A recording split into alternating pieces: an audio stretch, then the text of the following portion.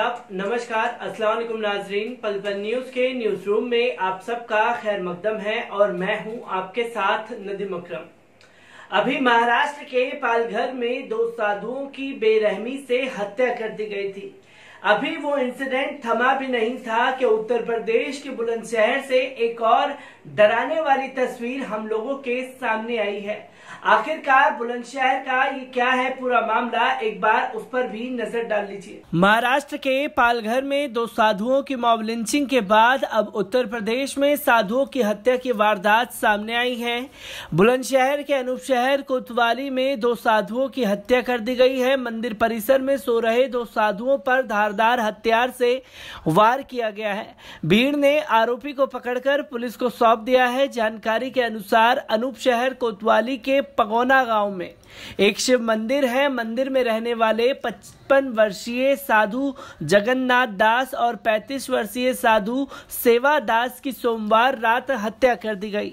मंगलवार सुबह जब ग्रामीण मंदिर पहुँचे तो साधुओं के लथपथ शव देखकर भड़क गए। देखते ही देखते मंदिर में सैकड़ों लोगों की भीड़ इकट्ठा हो गई।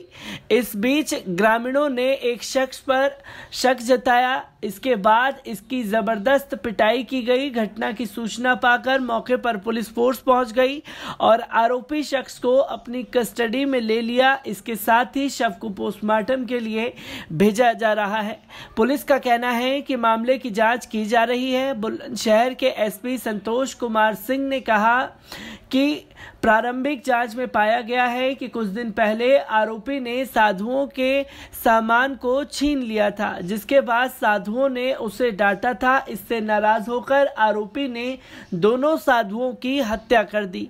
मामले की जाँच की जा रही है। इससे पहले महाराष्ट्र के पालघर में 16-17 अप्रैल की दरमियान रात दो साधुओं और उनके ड्राइवर की पीट पीट कर हत्या कर दी गई थी।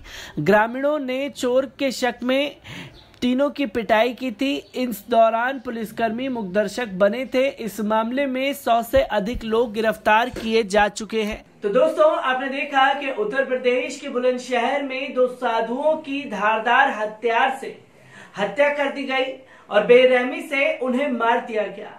उत्तर प्रदेश में ये घटना घटी। बुलंदशहर की ये घटना इसको छुपाने पर मीडिया पूरी तरीके से लगा हुआ है, क्योंकि वहाँ भाजपा की सरकार है और भाजपा की सरकार में जो भी कुकर्म हो रहे हैं, उसे मीडिया बाहर आने देना नहीं चाहता। जो खबर इस वक्त सामने आ रही है, वो वाकई डराने वाली है। उत्तर प्रदेश में लॉ एंड ऑर्डर की पूरी तरीके से धज्जियाँ उड़ी हुई हैं, जहाँ अपराधियों के हौसले इस कदर बुलंद हैं कि वो कुछ भी करने से बाज नहीं आ रही। ये बुलंदशहर की तस्वीर डराने वाली है। आखिरकार क्यों? हत्या की गई, ये सबसे बड़ा सवाल खड़ा होता है और इस हत्या का जिम्मेदार कोई और नहीं, ये मीडिया है।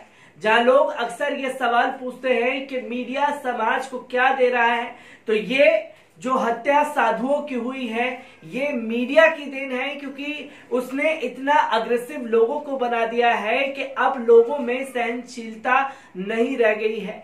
सहन शक्ति नहीं रह गई है। अगर किसी ने कोई बात कह दी तो द्वेष की भावना लेकर के उसको मारने काटने पर उतारू हो चुके हैं। मैं ऐसी ही तमाम खबरों से आपको रूबरू कराता रहूँगा। तब तक के लिए दीजिए मुझे इजाज़त। शुक्रिया।